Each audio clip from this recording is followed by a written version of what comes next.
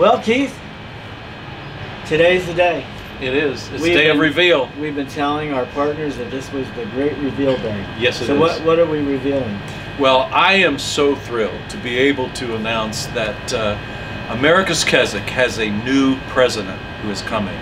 Now, the reason we have that is because this guy says that he would like to retire someday, which I don't understand why you think you should retire. But anyway, I'm getting old. You, you are old. Not as So- old. Not as old as you. Oh, you're only close. two years. Yeah, okay, I'm older. But anyway, uh, we're just thrilled to be able to announce that uh, in order to prepare for retirement, uh, we've made a decision to bring in a new president who will start on January 1st of 2024.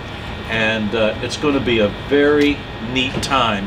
Next year is going to be exciting for you. It really is. And so he's going to do this from January to sometime in June. Then, then what happens? Well, then he will be promoted from president to president and CEO. So, Bill, you get to stay CEO and have all the responsibility. No, no. I get to be. I get to be the assistant to the CEO. Well, that's not until after Okay. Just, Janu- just July to make 1st. sure I clarify that. Yeah, it's Okay. going to be good. And we're just so thrilled and so thankful to God that uh, this opportunity has come about. And the board has prayed to this, and it, it's really been neat to see the process of how God has led us. So, thank you for watching the video today. We really appreciate you joining us, and if you'd like more information, we'll give it to you right now. So, who is? Ah, our new president. Yeah. Well, I am thrilled to be able to introduce to you Mark Wilson Graham.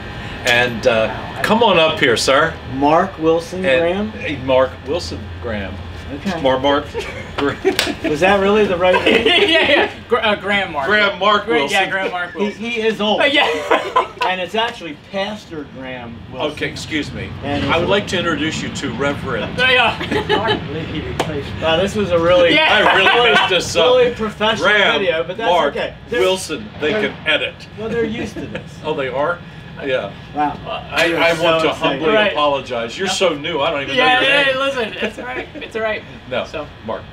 So you want to say anything? yeah, I uh, listen. This has been an incredible journey. Uh, many of you probably watching this video can remember me uh, as a little kid living and serving here, and um, the past year praying through this opportunity has been truly an overwhelming experience for both of us.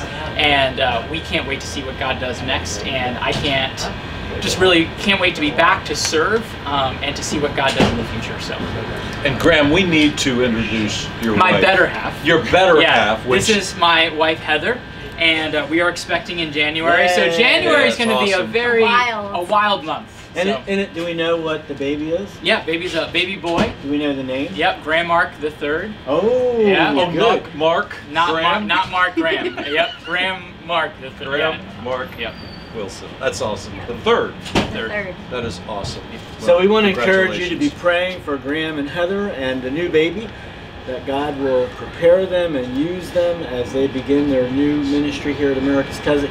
Uh, some of you are not going to be surprised because Graham was serving. How long did you serve here? 16 years. 16 years. And I am so proud of him and had the privilege of a small part in his life.